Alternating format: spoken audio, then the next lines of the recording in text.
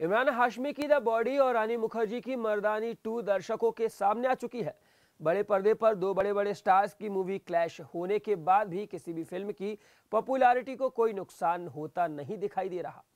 Social media पर users द्वारा दोनों फ़िल्मों को पसंद किया जा रहा है। एक और यहाँ थ्रिलर फ़िल्म, द बॉडी में इमरान हाशमी की एक्टिंग और कहानी को बेहद सराहा जा रहा है।